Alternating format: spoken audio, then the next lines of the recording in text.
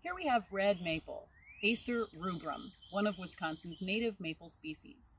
It's actually quite easy to identify among the maples because it's got some really distinguishing characteristics. Let's take a closer look.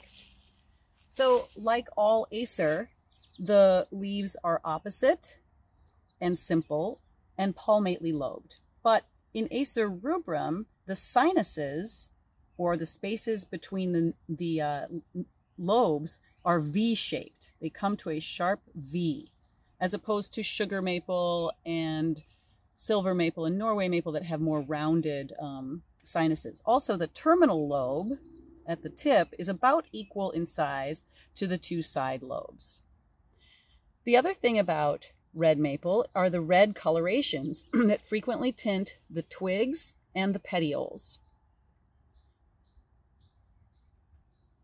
The fruits of red maple are very small. They're, you know, barely an inch in size. These are were probably dispersed early in the springtime um, or possibly late last fall. And you can see that they're a small uh, samara. Now, when they hang on the tree, they're in pairs, as all Acer have. And the pair will be dangling in a little V shape like this from the tree. So those are the fruits of red maple. Let's take a look at the bark. So here is the bark of the red maple, and you'll notice it is really quite smooth on all the branches and even on the trunks. It's only really in older trees that you wind up getting some fissuring or some splitting of the bark into rather flat-topped, smooth ridges. So it's probably the smoothest barked of all our maples in Wisconsin.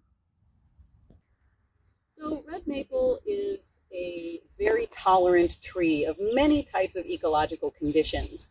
It's widespread, growing in dry, sandy areas with white pine and oaks, or even floodplains and wet areas. So it has the broadest ecological tolerance of all our maples.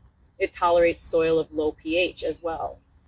Um, from a management perspective, however, it is not economically valuable and in fact, in many cases, it's managed against. So it doesn't produce great wood for timber or anything like that, like other species of maples do.